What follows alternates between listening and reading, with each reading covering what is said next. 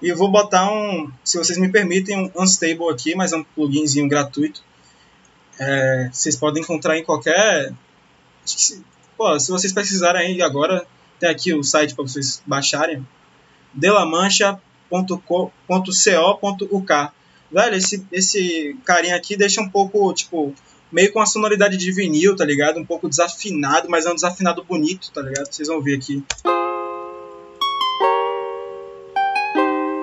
Tá vendo? Ele deu um no final, tá ligado? É, ele faz esse efeito.